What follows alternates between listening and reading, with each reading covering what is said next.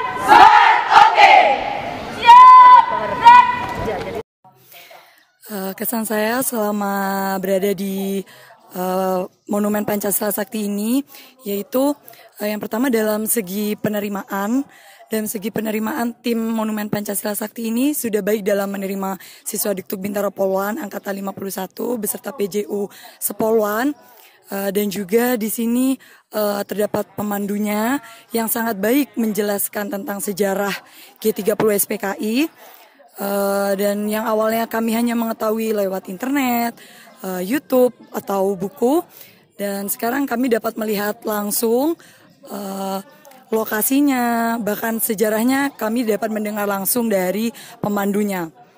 Dan untuk uh, pesan saya untuk generasi muda uh, yaitu jas merah, jangan sekali-sekali melupakan sejarah. Terima kasih.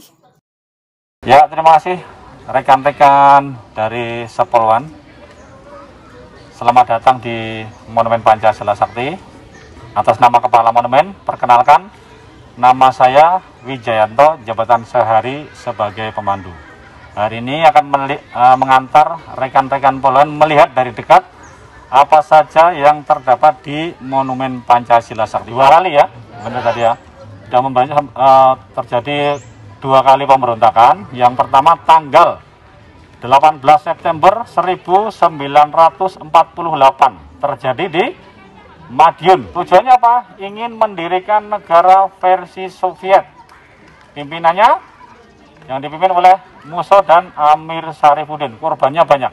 Kemudian tanggal 30 September dilanjutkan pemberontakan yang kedua. Ingin mengganti ideologi negara Pancasila dengan ideologi komunis ya. Pesan saya terhadap generasi penerus bangsa, terutama khususnya untuk para pemuda, agar selalu menerapkan nilai dan moral-moral Pancasila, dan jangan sampai kita melupakan sejarah, karena Ketika tidak ada sejarah, maka tidak ada hari ini dan masa depan. Terima kasih.